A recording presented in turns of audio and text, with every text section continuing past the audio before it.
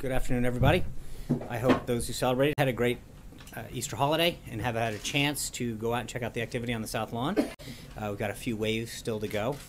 Uh, the President and the First Lady welcomed thousands of families here to the White House this morning for the 139th annual Easter egg roll.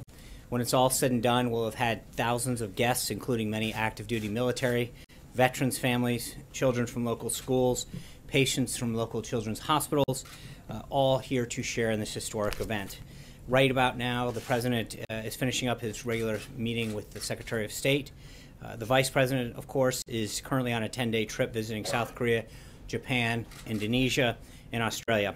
While in South Korea, the Vice President participated in an Easter church service with both American and South Korean service members and their families, and has been holding bilateral meetings with representatives of the South Korean government. The Vice President is delivering a message to the people of the Republic of Korea on behalf of the President that even in these troubled times, the United States stands with them for a free and secure future. Under President Trump, our ironclad alliance will be even stronger. Our nations will be safer, and the Asia Pacific region will be more secure.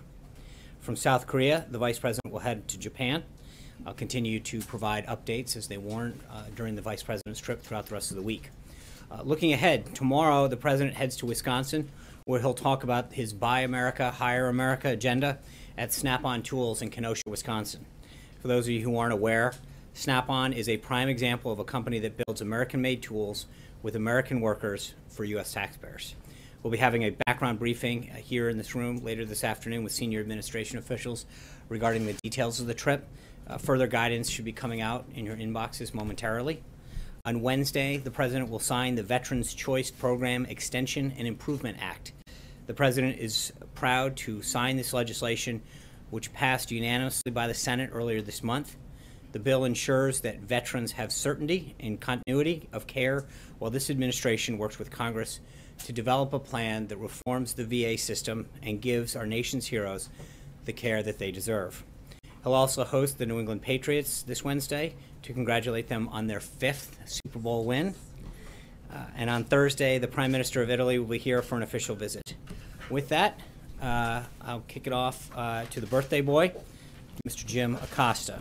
I'll take it. Thank you, Sean. Um, does the president have a red line when it comes to North Korea that if they cross it, they will bring about some kind of military response from the U.S.? Um, I think what we talked about, you know, the, the use of red lines in the past with respect to Syria. The president's made line, you know, that drawing red lines hasn't really worked in the past. He holds his cards close to the vest, and I think he, you're not going to see him telegraphing um, how he's going to respond to any military or other situation uh, going forward. That's just something that he believes uh, has not served us well in the past. We did this with Mosul. We start to talk about what the action will be months in advance, and it really gives uh, the, the the intended recipient of action a heads up as to what's going on. So I don't think that you're going to see the president drawing red lines in the sand, but I think that the action that he took in Syria shows that when appropriate, this president will take decisive action. So let me just to follow up on that. Syria is one uh, one thing. North Korea is quite another. When they have nuclear ambitions, the way that they do. Right. When you talk about, well, we did this to North, uh, we did this to Syria, and we did this to Afghanistan. Is that is that no? too, I, I think that, in, in the case too loose with you know, bombastic rhetoric. No, no, no. I, I think, and again, I, I, please don't read too much into that in terms of the, the, trying to make an analogy on the action. I think it's quite the opposite. Uh, but I think with respect to North Korea in particular, uh, the president had a really good meeting with President Xi down at Mar-a-Lago, where I think he's spoken extensively about the relationship that they uh, they made down there, um, and that they continue to work to improve. And the results of that are paying off. I think you see China uh, playing a much more active role in the in the in, with respect to North Korea, both politically and economically. That they can they can continue to apply pressure to achieve results, and I think we're going to continue uh, to urge China to exhibit its influence in the region to get better results. North Korea did launch that missile. Did launch I, I, understand that, and it failed. Um, we're well aware of, of what's going on. Uh, we monitored that situation. The president was kept up to date, as you know. Uh, but I think that we're going to continue to work with China in particular uh, to help find a way forward on this. John. Thanks a lot, Sean. The president, as you just mentioned, has spoken about this uh, relationship that he's developed with President Xi, and how President Xi would be leaning on the North Korean government to prevent the kind of attempted missile launches like we saw over the weekend. Uh, it seems as if that effort, in terms of leaning on North Korea, did not work. Uh, in addition to that, the vice foreign minister of North Korea said to the BBC today that North Korea will test its missiles on a weekly, a monthly, and a yearly basis. So my question is, what kind of pressure is China putting on North Well, Korea? Well, again, I, I think this goes back to the nut of what Jim was asking, which is I think for us to telegraph uh, what we're going to do or what we're going to ask others to do uh, would not be a smart strategy to lay it all out on public. But I think that if you realize, for example, uh, on the economic side of things, China is the number one um, importer of North Korean coal. I think to, to see them cur- curtail some of that has a real economic uh, impact uh, on the region. There's a lot of economic and political pressure points that I think China can, can utilize, and we've been very encouraged with the direction in which they're going. But it seems as if North Korea is essentially, just based upon what they tried to do over the weekend, thumbing its nose at even Well, China, I- at even China because of what they attempted But to we're, do. we're I, I I understand the question. I think we're just not there yet. We've got a lot of tools left and a lot of conversations that are ongoing. But um, let's not get ahead of ourselves. I think we've had a very productive uh, direction that we've seen China move in, and I think uh, there's an agreement. I think by everyone so far that uh, you know a new a nuclear capable North Korea is not in anybody's best interest, and I think we're going to continue to work with the Chinese in particular on this case. Caitlin. What was their review of the White House visitor logs? What was the extent of that review? I'm sorry, what was, What was the extent of the review of the White House visitor logs? What made you change your mind to not continue releasing them? uh, I think, as was noted on Friday, uh, we're following the same policy that every administration from the beginning of time has used with respect to uh, visitors log. We will comply with both the Federal Records Act and the Presidential Records Act as stated by law. Well, why does the president object to people knowing who is coming in the White House? Well, it's not a, it's not a question of objecting. It's about following the law.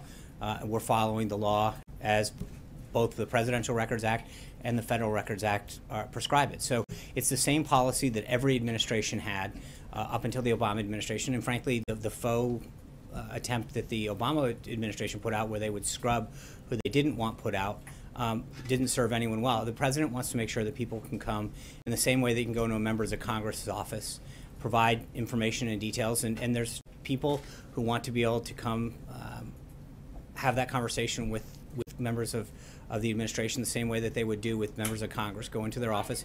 Why didn't he take this opportunity to one up the transparency game?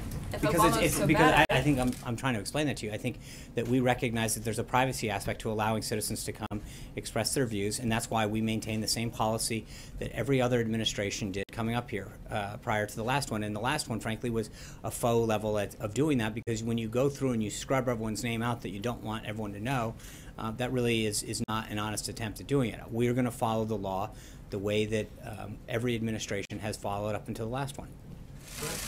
Zeke. Hey, Sean. Um, Following Caitlin's question, um, the uh, the rationale given Friday for the visitor logs' reversal um, was that for both national security and privacy concerns, both of those were clear exemptions in the Obama administration's policy, which led to that scrubbing that you described. Um, So why exactly the reversal? You seem to be describing maybe a third rationale that you're that you're giving. No, I think I just touched on privacy. Uh, that people have a right. The, the Obama administration had that exception to their their visitors log. But, but, but I think the problem, Zeke, is that we don't know what, what the ra- I mean, they, they said what it was, but you don't know who got left off and who didn't. They chose to to not put people out uh, for whatever reason, and they gave an excuse, and no one questioned it. So the question is, but but I I think the bottom line is, as I said to Caitlin, is that we're going to have the same policy that every you know president has had through time um, and comply with the law um, on both fronts. I think, but again, you, you remember it's interesting that you know we're, we're following basically the same thing that members of Congress follow. Um, that you go and you meet with a member of Congress right now, uh, that there's an option for people to be able to go and express their opinion if they want to make it public. Um, who, who's meeting with them? And in, in a lot of cases, we do. We bring in you guys to probably a greater extent than has happened before in terms of the pool spray. We list participant lists. Um, but I think there's an opportunity sometimes for, for American people who want to come and, and have a conversation and not become, um, you know, and be able to share their view. So again, I, I- but, but remember, this is the same policy that every president and every administration has followed. Um, grant you that, um, but Thank you. this president, you know, entered office running a campaign saying he was going to drain the swamp. So under this existing policy, a lobbyist, president has decried, you know, on the campaign trail and stop a Washington insider, members of, you know, uh, of the swamp can walk into the White House, and there is no recourse for the public to hold the president to account. I think you guys, uh, uh, but uh, the, the the visitor logs to all the White House components, um, OMB, the Council of Economic Quality, U.S. Trade Representative, uh, Office of Science and Technology. Huh? I, I, I'm, what I'm saying is all of those that are subject to the Federal Records Act, we're complying with all that, and we're complying with the Presidential Records Act. My, my point is that look, this is the the policy that's existed from the beginning of time since they were kept um, and through the last one. And the last one was a was a faux attempt at that. Again, that it's not really being transparent when you scrub out the names of the people that you don't want anyone to know were here. Um, and so I think that we've made a decision to stay in line with the law and follow the same procedures that everyone else has has maintained. Trey.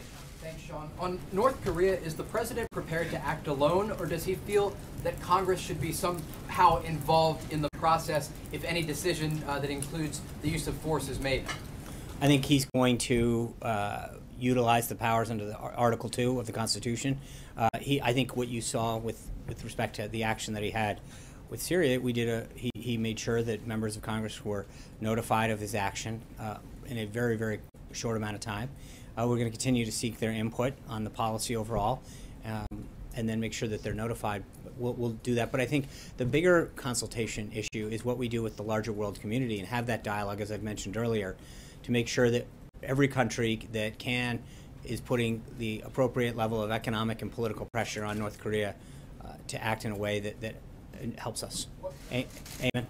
Thanks, Sean. Uh, tax filing day coming up, uh, is the president going to release his 2016 tax returns, given that we can assume maybe that those are not themselves under audit, which is the No, you can't. given for Yeah, not- they, they are. Um, I think it's been covered before. It's the same thing that uh, that was discussed during the campaign trail. The president uh, is under audit. It's a routine one. It continues, um, and I think that the American public know clearly where he stands. This was something that he made very clear during the election cycle. Excuse me. And hold on. And and so and, and the one time that it was done, I think the people understand, you know, how successful the president's been and how much he's paid in taxes. So, but but it's the same. We're, we're under the same audit that existed, and uh, and so nothing has changed. As you know, the IRS never comments on individual taxpayer Right. information. This obviously is an extraordinary case involving the President of the United States.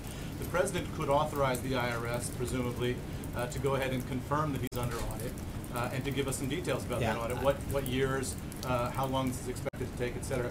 Will the President authorize the IRS to confirm I, that I think the president's view on this has been very clear uh, from the campaign, and the American people understood it when they elected him um, in in November. Hallie. Thank you. Always looking out for me, John Roberts. Uh, Political leaders in Hawaii are reviewing plans for uh, emergency plans in case they are attacked. Does the president believe that the level of tension between the United States and North Korea is at the point where we should start reviewing emergency attack plans? So just to be clear, uh, and again, I'm not going to get into. I, I would just tell you that uh, there are military contingency plans for almost every scenario, um, uh, in, in a numerous aspects a- around the world, uh, here at home, um, everything from humanitarian relief to refugee crises to attacks. That is standard military procedure to have those kind of things. So uh, to make that in any way, shape, or form sound new uh, would be a mistake. It is a standard operating procedure of the military to plan for contingencies in a number of operations in a number of uh, hotspots throughout the world on a regular basis. And with respect uh, to Korea in particular, that's been going on for decades. I'm just wondering, how high does the president view the threat level from North Korea? Again, I, I think the president has made clear we're, we're, we're aware of um, the activities that they've engaged in, um, and we're monitoring them, and the national security team continues to, to keep them up to date. Just one more on that topic. One of the reasons why successive administrations has chosen to negotiate with the leaders of North Korea is because it's believed that there are no good military options to deal with. Does this president believe that there are viable military options for dealing with North Korea? Uh, again, I'm not. I, I what you may or understand that, but, I've been, but I think taking anything on or off the table itself, in itself um, limiting your options to some degree. And so I'm not going to even discuss that, Julie. I wanted to ask a couple of questions about the situation in Turkey. Mhm. Um, is the president concerned at all by these reports from international monitors that this referendum that gave, gives President Erdogan these sweeping powers had irregularities in it? My understanding is there's an international commission uh, that is reviewing this and issues a report, so 10 to 12 days, and so we'll wait and let them do their job. There were international monitors uh, throughout Turkey, and we'll let And the. would he like to see Erdogan do? Would he like I, I think at this point, I don't think, I, I think it would, we'd rather not get ahead of that report and, and start to make decisions uh, without knowing. There were observers there, as there routinely are, and I'd rather wait and see. And just beyond the irregularities, just the, the act that, um, that Erdogan is going through to try to accumulate these powers, what does the president make of that? I, again, I'm not gonna, they, they have a, a right to have uh, elections and their people participated in that, but before we start getting into um, their governing system, uh, let the, let this commission get through its work. Steve? Sean, when, when Vice President Pence says that, uh, with the- regarding North Korea, strategic patience is over, Right. what does that mean exactly? the, the era of strategic patience was a policy um, that the Obama administration enacted to basically wait and see. I think we have now uh, understood that that policy is not one uh, that is prudent for the United States, and I think that's why you've seen stepped up efforts, particularly with respect to China. Um, and that's why I think the relationship that the president um, really is building on from the time that he spent down in Mar-a-Lago with President Xi uh, is hopefully going to produce results. Um, and so part of it is to, to actively engage with, with world partners like China in particular that have economic and political influence that they can utilize. What would it take to restart some sort of talks with North Korea? Well, let, let's see. I, I, again, I'm not going to get ahead of um, of the policies right now. I think we're, we're seeing some active engagement with with um, with China, and that's that's helpful. So let's let's see how that goes. Allie. Sean, I have two for you on North Korea. Um, you, you're doing it today, you've done it before, you've stood at the podium and said you don't want to telegraph moves Right. that the president will make, but you want to preserve that element of surprise. A Kremlin spokesperson said that President Trump is more impulsive and unpredictable than Kim Jong-un.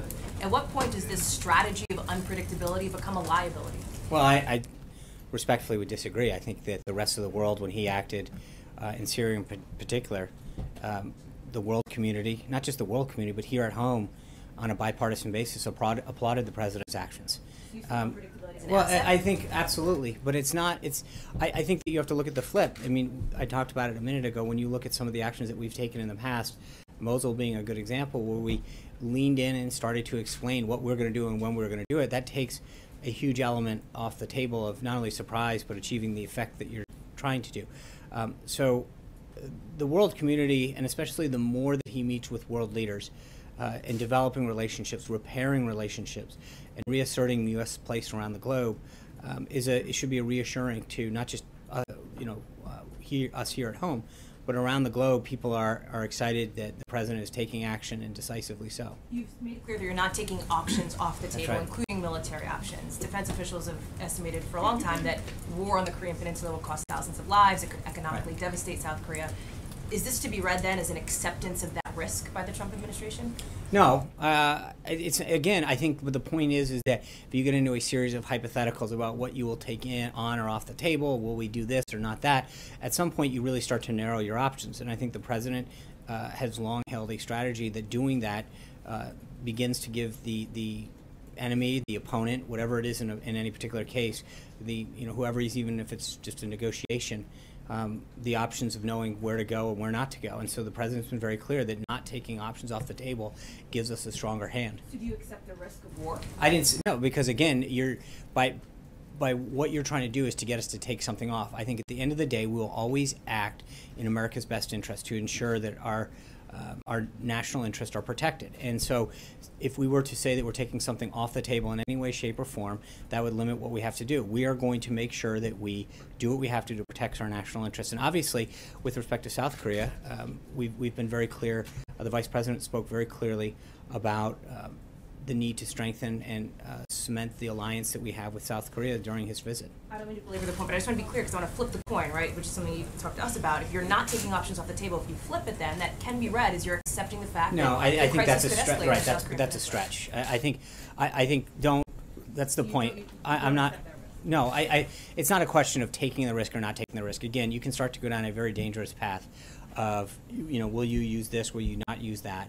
Um, the president's very clear, and I think everybody who's been briefed on him, and I think when you look at the quality of the national security team that's surrounding him, um, by all accounts, what probably the best in our nation's history in terms of all across the board.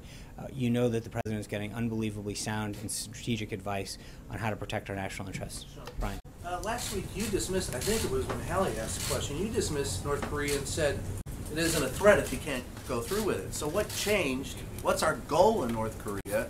What's the strategy? And what's your response to the critics who say that this is just blue smoke and mirrors to hide some of the problems on the White House staff and some of the failing uh, domestic social agenda? Uh, I, I, I think, I don't think there's anybody in the world who uh, would not believe that North Korea's actions are both provocative and a concern. So the actions that we're taking are extremely. uh, that it was- They're appropriate and justified. What we're doing is working with the world community, uh, and as I've mentioned multiple times today, especially China, um, which is really acting in a historic way. Um, to ensure that our national interests and the safety of the peninsula is protected. What about the follow, well, the Francesca. follow-up there is what about the criticism from people on the Hill who say you're just hiding a, a domestic agenda that isn't working? I, I, I don't, I've never heard that, I haven't heard that criticism. Well, actually, I have. Okay, well, we travel in different circles. Um, but, but I, I, look, I, I don't think that there's anybody who honestly believes that, uh, after seeing the, the launches that they're taking and the work that they're undertaking, that any, any attempt to protect our country and our national interests, uh, is anything other than the right and justified thing to do. Francesca. Thank you, Sean. This morning in an interview, you referred to the missile launch as an unsuccessful military attack. That contradicts what other White House officials have said. It was an unsuccessful launch.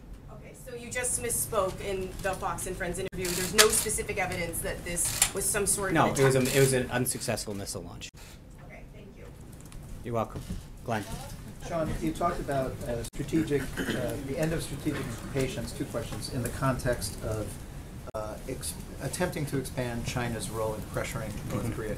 Do you believe China has uh, the power to change North Korea's behavior if they choose to do so? And then a follow-up. Uh, that's a good question. Um, I think they they can definitely I, try. There's economic and political points that they could be pushing. Uh, whether or not they achieve that outcome is yet to be seen. But I think that there's a lot of influence that they uh, they could exhibit in both of those areas, and we'll have to see. And that's uh, but but it's clearly the prudent thing for the president to do to try to build that relationship with President Xi and. And see if we could achieve an outcome that, that's in all of our best interests. Jonathan. Just a follow.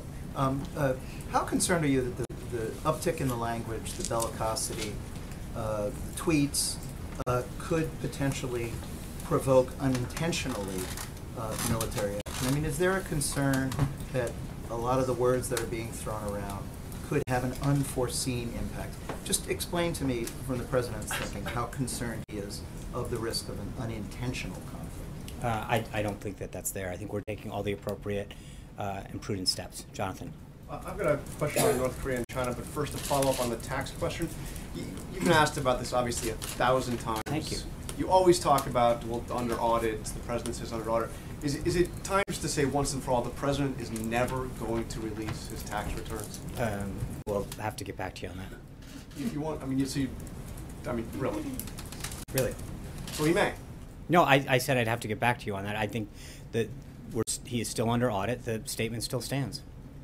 Um, and on uh, North Korea, you you said that China's playing an active role, you said an historic role right now in pressuring uh, the North Koreans. What are they doing? What, what, Well, what again, I think that when you look at um, both the economic front, coal in particular, um, that, that that that is North Korea's number one export. Chinese cut off the I, I, I, not I think that they have taken some very helpful economic actions um, and exhibited positive signs on the diplomatic front as well. Uh, but again, this is something that is an ongoing conversation built on the relationship that the president established with President Xi. Uh, and I think that, well, you know, as the president has noted before, I mean, we'll have to see. Uh, but I, it is encouraging the signs that, that China is showing. And the president suggested there was a quid pro quo in terms of not declaring China a currency manipulator because they were helping or going to help with North Korea. So if China does not adequately put pressure on North Korea, is he going to go back and declare them a currency manipulator? Yeah, so there's a couple things on that. Number one, uh, they haven't been manipulating their currency since he's been in office. That's a fact. Uh, number two is I think the president's tweet said clearly uh, to do so at this time would not be prudent. Um, it's not a quid pro quo. It's just saying that in the middle of them um, taking very positive signs to help us address the issue, the situation in North Korea, that to label them a currency manipulator, I don't think would be very productive in achieving a, a very, very um, important national strategic objective. Okay. Sean, on both the taxes and on the visitor logs, uh, there are now uh, ethics experts on both sides of the aisle who say this is the least transparent administration in decades. How do you respond? Well, I, I think that we've taken several steps um, to allow people's access to this White House in terms of, uh, in particular, the, the press. We uh, hold regular uh, pool sprays where we bring people in, we release participant lists. Uh, we give press the opportunity to come into the room, see everybody who's there, hear part of the discussion. So I would respectfully disagree with that. Abby. There's a new Gallup poll out today showing that 45% of Americans uh, don't believe that the president will keep, uh, only 45% believe he'll keep his promises. That's down 17% since early February. Uh, given some of his reversals, especially in the last week, uh, does he risk being seen as a flip-flopper? I don't think so. Um, you know, I mentioned it on the currency, um, on NATO. We talked about this last week. Um, the, the question in my mind isn't is is is looking at the issue and seeing. And I mentioned NATO. I think Matt asked it last week. Um, where there are certain things, and, and again on NATO, if you go back to I think it was September 29th of last year, um, he was talking very specifically about some of the moves that he was seeing NATO make in a positive direction, um, and already at that point encouraging them. In the case of China, they aren't, since he's been in office, manipulating their currency. Uh, the Treasury did issue a report on Friday that put them on a watch list with a number of other countries. Um, so I, I know that it's easy to just take an issue and say, well, he's not you know, make it make it seem very black and white. But on these particular issues, you can see that there's movement to the president's position. I would argue that he's achieving a lot of results on the issues that he talked to the American people about. Um, and it, when you talk about the big issues that he kept, that he promised the American people, uh, in terms of immigration, you see immigration down 60% at the border. On jobs, jobs are coming back over and over again. You're seeing companies talk about new job creation here, new manufacturing here. Um, the executive orders that he's signing are all consistent with the promises that he made to the American people on the campaign trail. And I think on issue after issue, um, whether it's immigration, job creation, national security, the president made very clear um, promises to the American people that on you know over and over again he's achieving great success on. And so I, I would argue that uh, we're going to continue to see the president not only keep his word but be rewarded by the American people um, on that on that on that front. On a separate issue about the president's continued travel to Mar-a-Lago or any other place where he's conducting official business. Um, does the White House believe that uh, those other locations should be treated like this building in the sense that you guys will be transparent about who he's meeting with and, and what kind of official business he's conducting while he's there? Is that a commitment that you all are willing to make? I think we've been um, fairly consistent with reading out who he's meeting with and what he's done, um, providing the pool um, access to his whereabouts and what he's doing. I, I think what we, we generally do. Obviously, the president has you know time to spend with family, and he makes uh, phone calls. We generally provide readouts of those phone calls with foreign leaders, whether he's here or in Florida. So I think we've done a fairly good job of making sure that people know who he's meeting with, who he's speaking to, and, and when appropriate, the context of those calls. But that's not. Long stretches of time go by and we get pool reports from the pooler saying, we've been asking the White House for information about what the president is doing. I understand that, and- And we don't get that information. I- I- We can't even get an answer to whether he's golfing or not. I understand that some days that you don't get it as quick as you want. Some but, days we never get Okay, it. but but with all due respect, Julie, he's he's entitled to have um, moments with his family and private time. Um, so I, I, I think respectfully, I would disagree. I think we do a very good job of getting you information, of bringing you along um, to events, uh, whether he's here or, or at, an, at a, at a location or going, even going out to dinner. Um, we've lived up to that. I think the president and, and, and is entitled to have some times uh, with his family and friends to, to just catch up. Um, then that's the difference than what, to what you're saying. No, no, Abby, but- Which is that you will, you are providing. no, but what I'm saying is her question was about official business. And when he does have a call and when he does meet with advisors, we generally put it out. But when he's uh, meeting internally, in the same way that when he's meeting here with his staff, we don't read out every staff meeting that's going on. Um, and so when he's down um, traveling and he's having meetings, whether it's on Air Force One or wherever, um, you know, that, that's what his staff does, is they provide him updates and policy briefings and give him an opportunity to make key decisions um, with their, with their insight into a particular issue. That's, that's what all presidents do. And I think that uh, I would respectfully suggest that we have done a really good job of making sure that, uh, that the pool in particular has provided information in terms of his whereabouts. And then we've provided background briefings on issues that are coming up, where we're going, why we're going, and what we intend to do. So, you know, I, I get that there's always going to be this back and forth. You guys are going to always want more. Um, and I think that we've tried to do what we can to get you that information. Thank you guys very much. We look forward to uh, seeing you in Wisconsin tomorrow if you can. Thank you.